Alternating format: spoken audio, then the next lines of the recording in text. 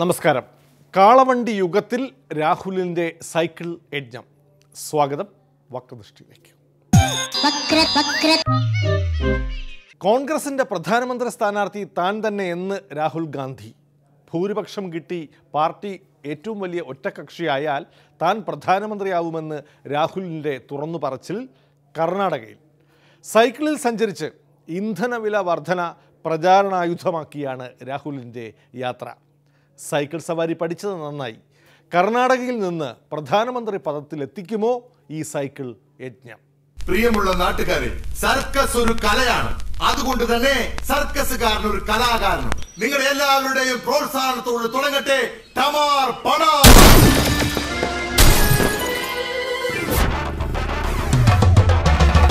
ടമാർ സ്നേഹമുള്ള അമ്മമാരെ പ്രിയപ്പെട്ട സഹോദരി സഹോദരന്മാരെ ഇന്ത്യയിൽ അങ്ങോളം ഇങ്ങോളം നിരവധി സൈക്കിൾ നടത്തി ഈ ചെറിയ പ്രായത്തിനുള്ളിൽ തന്നെ പേരും പ്രശസ്തിയും നേടിക്കഴിഞ്ഞ സുപ്രസിദ്ധ സൈക്കിൾ പ്രൊഫസർ പരമൻ അതായത് ഞാൻ.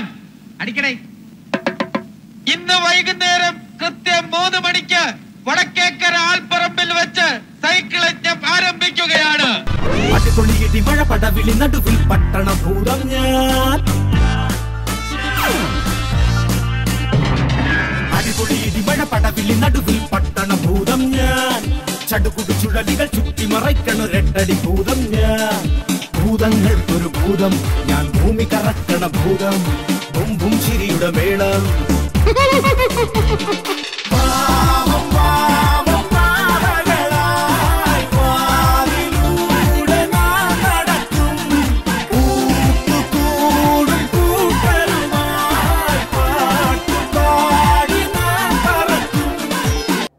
ഡീസൽ വില വർധനവാണ് ബി ജെ പി സർക്കാരിനെതിരായ കോൺഗ്രസ് ആയുധങ്ങളിൽ പ്രധാനം.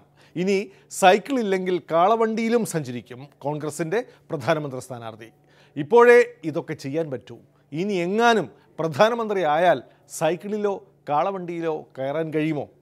ലോകത്ത് ഇന്ന് വരെ ആരും കാണിച്ചിട്ടില്ലാത്ത ഒരു തറവേല ഞാനിപ്പോ ഇവിടെ കാണിക്കാൻ പോവാണ്. കൂടെ നിന്നോണം. ആഹാ, നീ വേഗം കാണിക്കേ. യവനിക ഉയരുന്നിവിടെ വിടർന്നൊരു ജീവിത തുടങ്ങും നാടകമടിമുടി നാട്യക്കാർ നാം ഉയർന്നു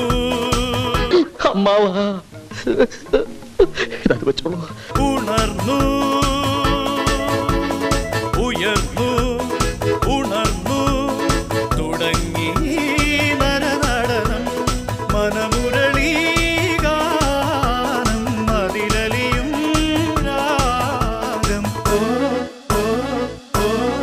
തണുപ്പത്ത് പീഡിയത്തിനെ കിടന്ന് നിന്റെ പിരികളായി പോയടാ വക്ര വക്ര. കണ്ണൂരിലെ ആളക്കൊല്ലി രാഷ്ട്രീയം സമീപത്തെ മാഹിയിലേക്കും പടരുകയാണ്. മാഹിയിലും കണ്ണൂരിലുമായി വീണ്ടും രണ്ട് രാഷ്ട്രീയ കൊലപാതകങ്ങൾ. സമാധാന ശ്രമങ്ങളെ നോക്കുകുത്തിയാക്കി ഇത്തവണ ആർ എസ് എസുകാരാണ് ആദ്യം ജീവനെടുക്കാൻ ഇറങ്ങിയത്. ഉടനടി തന്നെ സി പി എമ്മിന്റെ തിരിച്ചടിയും ബി ജെ പി പ്രവർത്തകന്റെ കൊലയും മുൻ കൗൺസിലറും ജനകീയനുമായ പ്രാദേശിക നേതാവിനെയാണ് സി പി എമ്മിന് നഷ്ടപ്പെട്ടതെങ്കിൽ ഓട്ടോറിക്ഷ ഡ്രൈവറായ ബി ജെ പി പ്രവർത്തകനാണ് മറുഭാഗത്ത് കൊല്ലപ്പെട്ടത്. കണ്ണില്ലാത്ത ഈ രാഷ്ട്രീയ കളിക്ക് അവസാനം ഇല്ലെന്നു വേണം കരുതാൻ. ക്രമസമാധാന ചുമതലയുള്ള സംസ്ഥാനം ഭരിക്കുന്ന പാർട്ടിയുടെയും കേന്ദ്രം ഭരിക്കുന്ന പാർട്ടിയുടെയും നേതൃത്വം വിചാരിച്ചാൽ അവസാനിപ്പിക്കാവുന്നതല്ലേ പ്രവർത്തകരെ കുരുതി കൊടുക്കുന്ന ഈ ചോരക്കളി. ജനിച്ചതാർക്കു വേണ്ടി അറിയില്ലല്ലോ ജീവിപ്പതാർക്കു വേണ്ടി അറിയില്ലല്ലോ ജനിച്ചതാർക്കു വേണ്ടി അറിയില്ലല്ലോ ജീവിപ്പതാർക്കു വേണ്ടി അറിയില്ലല്ലോ. ഒരു നാട്ടിൽ രാഷ്ട്രീയം പച്ച പിടിക്കണമെന്നുണ്ടെങ്കിൽ മുതലെടുപ്പ് നടക്കണം. രാഷ്ട്രീയ മുതലെടുപ്പ്.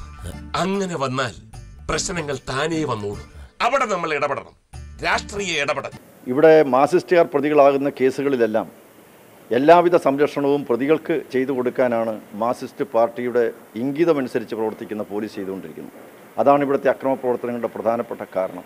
ഈ ഹിന്ദിക്ക് മറു ഹിന്ദി പറഞ്ഞില്ലെങ്കിൽ എന്റെ പേര് കർപ്പയെന്നല്ല നീ ചെവിയെ നുള്ളിക്കോ? മാഹി പ്രദേശത്ത് കുറേ കാലമായിട്ട് ഒരു സംഭവം ഉണ്ടായിരുന്നില്ല. അങ്ങനെ ഒരു സ്ഥലത്തൊരു സംഘർഷ ഭൂമിയാക്കി മാറ്റുക എന്നതാണ് ആർ എസ് എസിന്റെ തന്ത്രം. ഇത് ചെങ്ങന്നൂർ തെരഞ്ഞെടുപ്പിന് മുമ്പ് കേരളത്തിൽ അരാജകത്വം സൃഷ്ടിക്കുക. ഒരു കലാപബാധിത സംസ്ഥാനമാക്കി കേരളത്തെ മാറ്റുക. അതിനുവേണ്ടി പ്രകോപനം സൃഷ്ടിക്കുക എന്നതാണ് ആർ എസ് എസ് ഇത്തരം നീചമായൊരു കൊലപാതകം നടത്തിയതിന്റെ പിന്നിലുള്ളത്. കണ്ട ഒരാൾക്കൂട്ടം കണ്ട. ആൾക്കൂട്ടം കണ്ടാൽ നമ്മൾ ഇടപെടണം. തങ്കച്ച സാർ പ്രത്യേകം പറഞ്ഞിട്ടുള്ളതാണ് ആൾക്കൂട്ടം കണ്ടാൽ നമ്മൾ ഇടപെടണം. മനസ്സിലായോ? അതുകൊണ്ട് ഇടപെടാം. വാ. ഇന്നലെ രാത്രിയിൽ രണ്ട് കൊലപാതകങ്ങൾ കേരളത്തിൽ നടന്നു. ആർ എസ് എസ് ഒരു ഭാഗത്ത് ആളിനെ കൊല്ലുന്നു ഒരു ഭാഗത്ത് സി പി എം ആളിനെ കൊല്ലുന്നു. ഈ ആളെ കൊല്ലി പാർട്ടികളാണ് കേരളത്തിന് ശാപമായി മാറിയിരിക്കുന്നത് എന്നുള്ളതാണ് യാഥാർത്ഥ്യം. ഈ ആളെ കൊല്ലി പാർട്ടികളായ സി പി എമ്മും ആർ എസ് എസും ബി ജെ പിയും നമ്മുടെ നാടിന് ഒരു തീരാ ശാപമായി മാറിയിരിക്കുന്നു. അക്കാണും മാമലയൊന്നും നമ്മുടതല്ലൻ മകനെ. ഇക്കായൽ കയവും കരയും ആരുടെയുമല്ലൻ മകനെ? നിങ്ങൾ ആയുധങ്ങൾ താഴെയിടണം കൊലപാതകങ്ങൾ നിങ്ങൾ അവസാനിപ്പിക്കണം. നിങ്ങളുടെ ഈ കൊലപാതക രാഷ്ട്രീയം കേരളത്തിന്റെ അന്തസ് കേരള ജനതയുടെ ആത്മാഭിമാനത്തെ പോലും ചോദ്യം ചെയ്യുന്ന തരത്തിലേക്ക് വരുന്നു. രണ്ട് സംഭവങ്ങളാണ് ഇന്നലെ ഉണ്ടായത്. ആദ്യത്തെ സംഭവം നമ്മുടെ സംസ്ഥാനത്തല്ല എന്ന് പറയാം മാഹിയുടെ ഭാഗമായ പ്രദേശങ്ങളിൽ രണ്ടാമത്തെ സംഭവമാണ് നമ്മുടെ സംസ്ഥാനത്തുണ്ടായ സംഭവം. ഡി ജി പിയോട് പറഞ്ഞിട്ടുണ്ട്. ഇക്കാര്യത്തിൽ ഫലപ്രദമായ നടപടികൾ സ്വീകരിക്കണമെന്ന് പറഞ്ഞിട്ടുണ്ട്. നരകിച്ചു പൊറുക്കും ഇവിടം ഭൂലോകം തിരുമകനെ. കലഹിച്ചു മരിക്കും ഇവിടം ഇഹലോകം എൻ തിരുമകനെ. ഒരു കൊല നടക്കുന്നത് എപ്പോഴും നമുക്ക് അഭികാമ്യമായിട്ടുള്ള കാര്യമല്ലല്ലോ. അത് കൊല നടക്കാൻ പാടില്ല എന്നുള്ളത് തന്നെയാണല്ലോ നമ്മുടെ എല്ലാവരുടെയും ആഗ്രഹം. കണ്ണൂർ സംഭവങ്ങളോടെ യു ഡി എഫ് സംസ്ഥാന വ്യാപകമായി നടത്തിയ കളക്ടറേറ്റ് പിക്കറ്റിങ്ങിൽ ക്രമസമാധാന തകർച്ച എന്ന പ്രചാരണത്തിന് സ്വീകാര്യതയും കിട്ടി. ഒരു ഉപതെരഞ്ഞെടുപ്പ് സമയത്ത് പോലും കൊലപാതക രാഷ്ട്രീയത്തിന് ഇറങ്ങി പുറപ്പെടുന്നവരെക്കുറിച്ച് എന്താണ് പറയുക? കസ്റ്റഡി മരണത്തിനും കൊലപാതക രാഷ്ട്രീയത്തിനുമെതിരായി കോൺഗ്രസ് നടത്തിയ പ്രചാരണം ആഭ്യന്തര വകുപ്പിനെയും പോലീസിനെയും പ്രതിസ്ഥാനത്ത് നിർത്തിക്കൊണ്ടാണ്. പോലീസിന്റെ നിയന്ത്രണം മുഖ്യമന്ത്രിക്ക് നഷ്ടപ്പെട്ടു. ആഭ്യന്തര വകുപ്പിന്റെ ചുമതലയുള്ള ചുമതലയിൽ നിന്ന് മുഖ്യമന്ത്രി ഒഴിഞ്ഞു മാറേണ്ട സമയം അതിക്രമിച്ചിരിക്കുകയാണ്. വായും പൊളിച്ചിരുന്നാ മതി. അങ്ങാടി തോറ്റന് അമ്മയുടെ അടുത്ത് കുതിര കയറുന്നതിന്. ഞങ്ങൾ ജയിച്ചതേ ജനങ്ങൾക്ക് ഞങ്ങളെ വേണമെന്നുള്ളതുകൊണ്ടാ. ഓ പിന്നെ വലിയ ആനക്കാര്യങ്ങളാണല്ലോ നിങ്ങൾ ചെയ്തു കൂട്ടിയത്. ഈ നാട്ടിൽ ജനങ്ങളുടെ സ്വത്തിനും ജീവനും സംരക്ഷണം കൊടുക്കാൻ കഴിയാത്ത മുഖ്യമന്ത്രിയാണ് ഇവിടെ കേരളത്തിന്റെ മുഖ്യമന്ത്രി പിണറായി വിജയൻ ഒരു വട്ട പൂജ്യമാണെന്ന് ഇതോടുകൂടി തെളിയിച്ചിരിക്കുന്ന കാര്യമാണ്. ഭരിക്കാൻ അറിയില്ലെങ്കിൽ നിങ്ങൾ ഇറങ്ങിപ്പോവുകയാണ് വേണ്ടത്. ഇതുപോലെ നാണം കെട്ടൊരു ഭരണം കേരളത്തിന്റെ ചരിത്രത്തിൽ ഉണ്ടായിട്ടില്ല. എന്തിനെ എന്നെ ഇങ്ങനിട്ട് വേദനിപ്പിക്കണേ? ഒറ്റപ്പെട്ട ചില സംഭവങ്ങൾ ചില ഘട്ടങ്ങളിൽ ഇവിടെയും ഉണ്ടാകുന്നു. അപ്പോൾ ആ കാര്യത്തിൽ നല്ല ജാഗ്രത പോലീസിന് പുലർത്തി പോകാൻ കഴിയണം. വിരോധമുള്ളവരെ കള്ളക്കേസിൽ പിടിച്ച് കുൻചിർത്തിടിച്ച് ചോര ചൊപ്പിച്ച നല്ല കാര്യം തിരിച്ചു വരുമോ ഏത് പോലീസ് സ്റ്റേഷനിൽ ചെന്നാലും ആളുകൾ വെക്കാതെ പുറത്തു വരാൻ കഴിയും നടയടിയാണ് ആദ്യം. നടയടി കൊടുത്താണ് സ്റ്റേഷനിലോട്ട് കയറ്റിക്കൊണ്ടിരിക്കുന്നത്. George T V. ഫ്രിഡ്ജ് എന്നെങ്ങാനും ആയിരുന്നെങ്കിൽ ജോർജ് ഫ്രിഡ്ജ് വ- അല്ല ഇവിടെ ഫ്രിഡ്ജ് ഉണ്ടോന്ന് ഫ്രിഡ്ജൊക്കെ ഉപയോഗിക്കാൻ ഇതിന്റെ അമ്മ തിരുവനന്തപുരത്തെ ഫോർട്ട് പോലീസ് സ്റ്റേഷനിലെ ഉദയകുമാറിന്റെ ഉരുട്ടിക്കൊല മുമ്പ് യു ഡി എഫ് സർക്കാരിനെതിരായ വികാരം വളർത്തിയതുപോലെ വരാപ്പുഴ കസ്റ്റഡി മരണം ആയുധമാക്കുകയാണ് യു ഡി എഫ്. കേരളത്തിന്റെ മുഖ്യമന്ത്രി ആ വീട് സന്ദർശിച്ചോ? കുറ്റബോധം കൊണ്ടാണ് മുഖ്യമന്ത്രി സംരക്ഷിക്കാതിരിക്കുന്നത്. കേരളത്തിന്റെ മുഖ്യമന്ത്രി ആ വീട് സന്ദർശിച്ചില്ല. ആ വീട്ടുകാരോടൊരു അവർ അവർക്കൊരു ആശ്വാസവാക്കെങ്കിലും കേരളത്തിലെ മുഖ്യമന്ത്രി പറഞ്ഞു കോടിയേരി പോയി കോടിയേരി പോയിട്ട് എന്ത് കാര്യം? കോടിയേരിക്ക് ഈ ഭരണത്തിൽ വല്ല കാര്യവുമുണ്ടോ?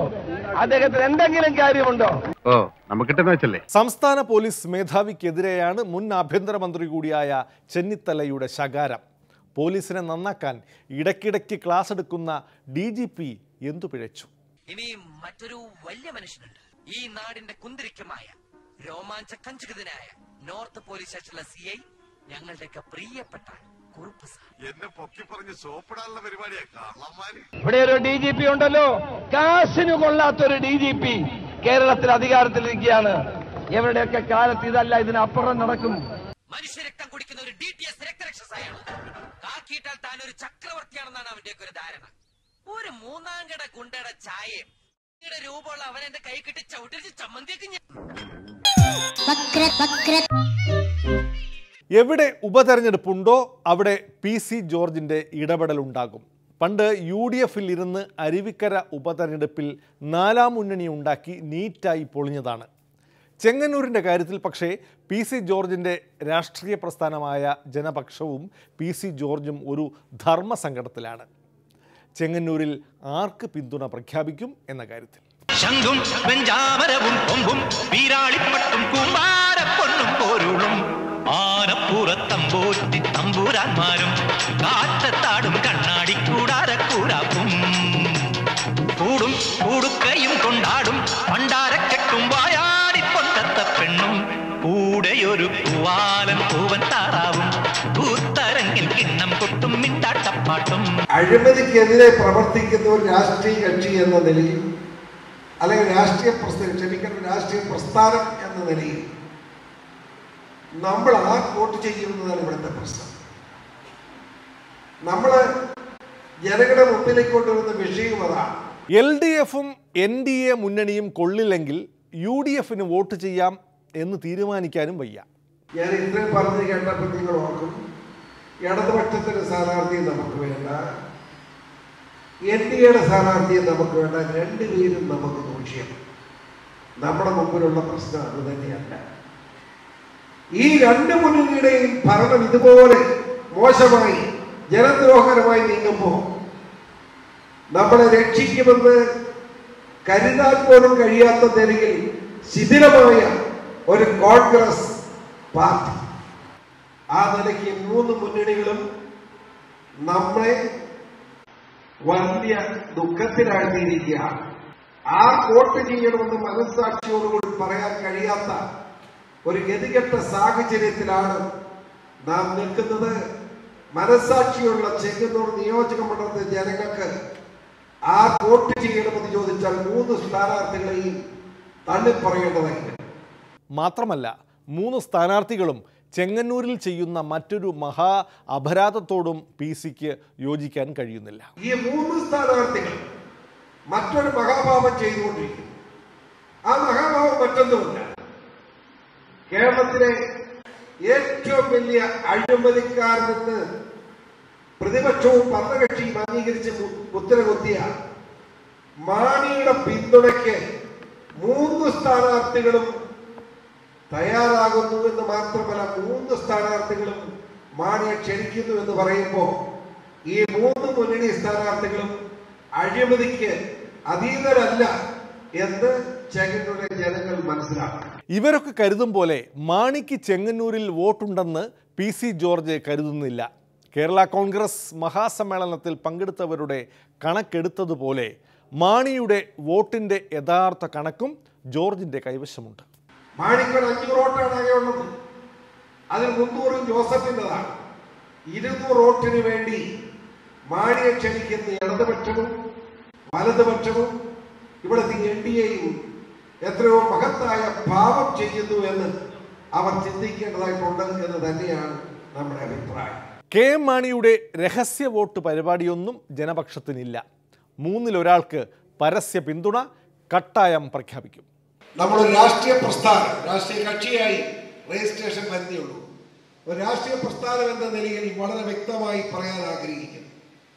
നമ്മൾ ചെങ്ങന്നൂരെ ജനങ്ങളോട് തമ്മിൽ ഭേദം തൊമ്മൻ എന്ന നിലപാട് സ്വീകരിച്ചുകൊണ്ട് ഈ മൂന്ന് സ്ഥാനാർത്ഥികളിൽ ഏതെങ്കിലും സ്ഥാനാർത്ഥിക്ക് വോട്ട് ചെയ്യാൻ നാം നിർബന്ധമായി നമ്മുടെ പാർട്ടി തീരുമാനമെടുക്കുമെന്ന കാര്യത്തിൽ ആർക്കും സംശയം വേണ്ട.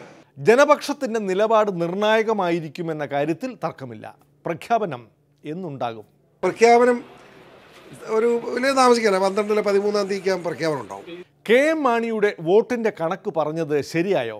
ഒന്നുമില്ലെങ്കിൽ ചെങ്ങന്നൂരിലെ ഒരു പഞ്ചായത്ത് ഭരിക്കുന്ന പാർട്ടിയല്ലേ? അഞ്ഞൂറ് വോട്ട് എന്നത് ശരിയായ കണക്കാണോ? ഒരു മുന്നൂറ് വോട്ട് ജോസഫിന് ഇരുന്നൂറ് മാണിക്കും ഉണ്ട്. അത് തന്നെ. അത് നിങ്ങൾ എന്നെ സമ്മതിക്കാത്ത സത്യം പറയാൻ സമ്മതിക്കാം. അല്ല പി സി ജോർജിന്റെ കൈവശം എത്ര വോട്ടുണ്ട്? എനിക്ക് വോട്ടില്ലേ? ജനപക്ഷത്തിന് എത്ര വോട്ടുണ്ട്? വോട്ടില്ലേ? ഒന്നുമില്ല. ഇത് കാണിച്ചു തരാവേ.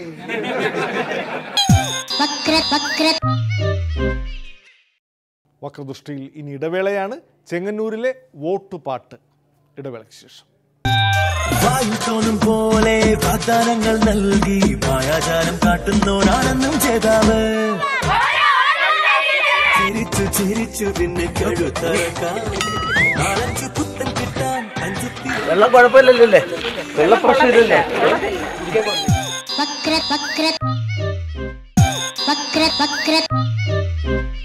ചെങ്ങന്നൂരിൽ U D F N D A സ്ഥാനാർത്ഥികൾ പത്രിക കൊടുത്തു കഴിഞ്ഞു. പ്രചാരണത്തിൽ മുന്നിലുള്ള എൽ ഡി എഫ് സ്ഥാനാർത്ഥി വാഹന പ്രചാരണവും തുടങ്ങി. രാഷ്ട്രീയ പാർട്ടികളുടെയും ഗ്രൂപ്പുകളുടെയും പിന്തുണ ആർക്കെന്ന ചർച്ചയാണ് ഇപ്പോൾ നടക്കുന്നത്. ആരുടെ വോട്ട് വേണം ആരുടെ വോട്ട് വേണ്ട എന്ന ചർച്ചയിലും മുന്നണികൾക്കുള്ളിൽ തർക്കമാണ്. ചുരുക്കത്തിൽ ചെങ്ങന്നൂരിനെ കേന്ദ്രമാക്കിയായിരിക്കും കേരള രാഷ്ട്രീയം ഇനിയുള്ള ദിവസങ്ങളിൽ തിരിയുക. ശേഷം നീയെയുള്ളോരോ മാളോരെയും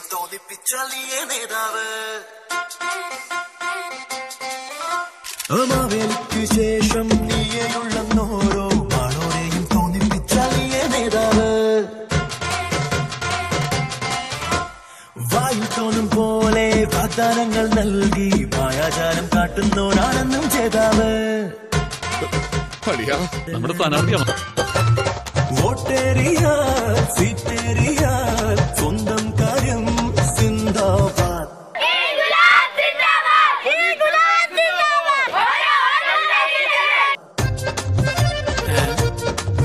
പ്രതീക്ഷ കൂടുതൽ ശക്തിപ്പെടുന്നതേ ഉള്ളൂ.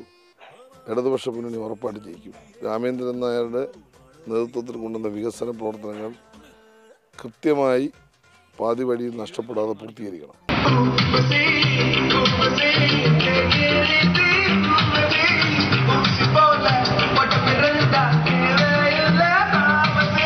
കഴിഞ്ഞ നാല് വർഷമായി ഇന്ത്യ ഭരിച്ചുകൊണ്ടിരിക്കുന്ന മോഡി മോഡി ഗവൺമെന്റിന്റെയും എല്ലാം ശരിയാക്കുമെന്ന് പറഞ്ഞ് അധികാരത്തിൽ വന്ന രണ്ട് വർഷമായി സംസ്ഥാനം ഭരിക്കുന്ന പിണറായി വിജയന്റെയും ജനദ്രോഹ നടപടികൾക്കെതിരെയുള്ള അതിശക്തമായ പ്രതികരണമായിരിക്കും ഈ തെരഞ്ഞെടുപ്പിൽ ചെങ്ങന്നൂരിൽ ഉണ്ടാകുക ഇരുപത്തിയെട്ടാം തീയതി കേരളത്തിലെ ജനങ്ങൾ പ്രത്യേകിച്ചും ചെങ്ങന്നൂരിലെ പ്രബുദ്ധരായ സമ്മതിദായർ അക്കാര്യം തെരഞ്ഞെടുപ്പിലൂടെ ബാലറ്റ് പേപ്പറിലൂടെ അതിനെ ചുട്ട മറുപടി കൊടുക്കുമെന്നുള്ള കാര്യത്തിൽ യാതൊരു സംശയമില്ല ഈ ജനദ്രോഹ നടപടികൾക്കെതിരെ.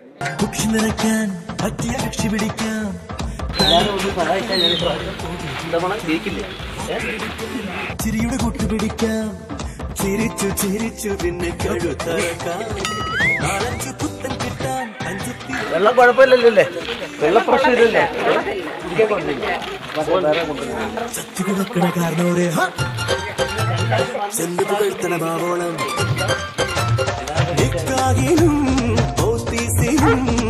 അഭൂതപൂർവമായ മുന്നേറ്റം എൻ ഡി എക്ക് അനുകൂലമായിട്ട് ദൃശ്യമാണ്.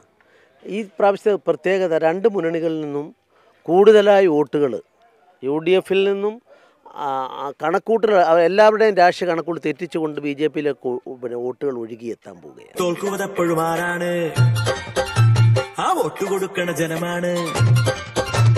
നേതാവിനും ജേതാവിനും സ്വന്തം കാര്യം സിന്ദാബാദ്. ചെങ്ങന്നൂരിൽ ആപ്പും ഇടവേളയ്ക്ക് ശേഷം.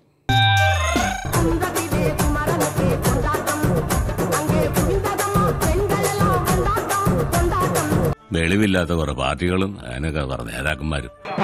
മാരകരോഗങ്ങൾ വന്നാൽ നമ്മൾ ആ അവയവം മുറിച്ചു കളയാറാണ് പതിവ്. എന്തോന്നടാ ഇതൊക്കെ? കാണക്കേട്.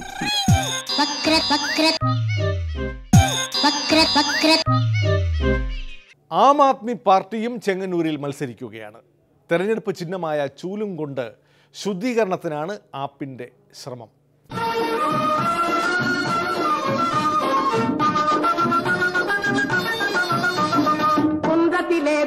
കുന്തത്തിലെ കുമരനുക്ക്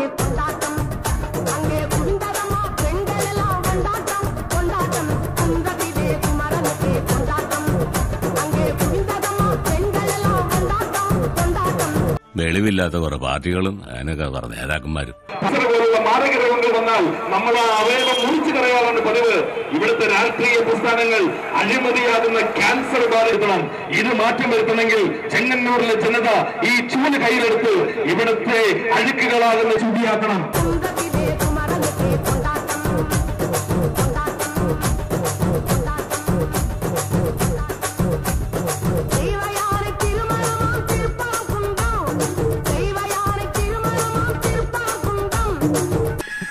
എന്തോന്നടാ ഇതൊക്കെ? നാണക്കേട് ഉം.